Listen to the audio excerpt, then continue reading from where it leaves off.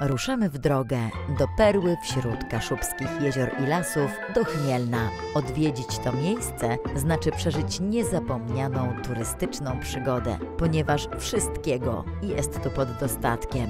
Pięknych krajobrazów, czystego powietrza, jezior, lasów i ryb.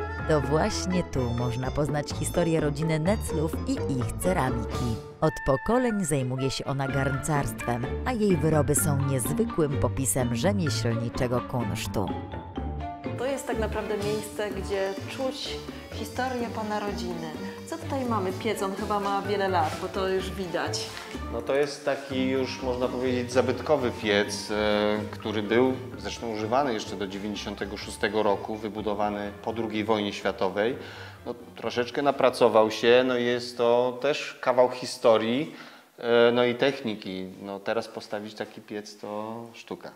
A jeśli już o historii, to opowiedzmy o Pana rodzinie. Jak to się zaczęło? My zaczynamy tutaj od zabawy, tak jak inni e, mają plastelinę, e, tam jakąś masę solną na przykład, no to u nas to jest glina. My bawimy się gliną, poznajemy ten materiał. E, Zaczynając pracę tutaj uczymy się przygotowywać glinę. No to była z moim bratem nasza podstawowa działalność i uczyliśmy te- tego od przodków. I tak sądzę uczyli się nasi przodkowie jeszcze wcześniejsi. Bawiąc się razem z ojcem w pracowni, nie wiedząc nawet, że się uczył. Przyjemne z pożytecznym. A ile tych pokoleń wstecz zajmowało się ceramiką, gliną? E, Nasza rodzina od 10 pokoleń kręci garnki, powiedzmy. E, czyli tak no, 300 lat, jakbym powiedział, to bym chyba nie przesadził.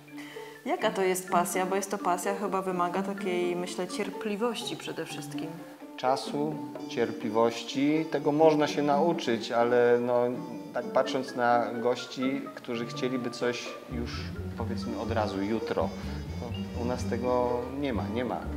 Dwa tygodnie, jeżeli ktoś ma cierpliwości, to możemy jakiś mały drobiazg zrobić. Co Państwo tutaj wyrabiacie? Bo widzę kubki, dzbanki, wazony. Wszelkiego rodzaju naczynia dekoracyjno-użytkowe, bo są to naczynia użytkowe, nadają się do mikrofalówki, do zmywarki, więc współcześnie jak najbardziej się odnajdują.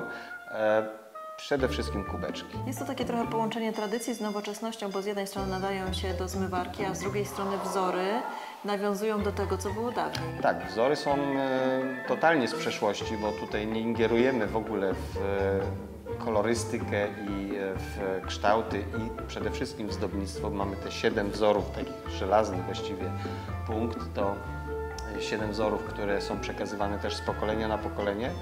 E, No i nowoczesne, no bo tak jak mówiłem, zmywarka, mikrofalówka, choć wizualnie są ciężkie, są bardzo leciutkie. Jak ludzie reagują na taką glinę, na ceramikę, bo teraz właśnie manufaktura y, ma znaczenie, prawda? Jest bardzo doceniana. Fajnie się patrzy, jak e, przyprowadza się tutaj dzieci, które są, odrywa się ich od komputera. Jednak one potrafią się czymś zainteresować innym niż telefon.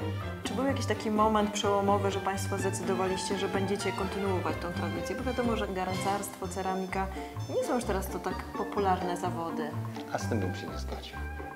tak? Patrząc na to, co dzieje się u nas, jak e, otwieramy warsztat, to mamy raptem może godzinę, półtora, żeby sobie spokojnie popracować w sezonie.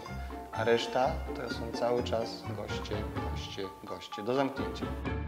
Na piękno ceramiki neclowskiej składają się główne elementy takie jak formowanie masy plastycznej, różnorodność kształtów, kolorystyka i przede wszystkim unikatowa kompozycja ornamentyki. Część dzieł oraz wiszące zdjęcia w pracowniczym muzeum dumnie świadczą o niezwykłej historii miejsca i ludzi.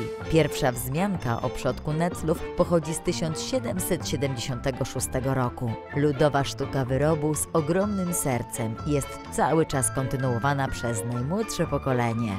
Magdo, Ty kontynuujesz y, dzieło i pasję rodzinną, malujesz. Y, Powiedz nam trochę o tych wzorach, na przykład o tym. E, tak, to jest e, wianek. E, on symbolizuje wianeki, które plotły dziewczyny na polach z różnorodnych kwiatów.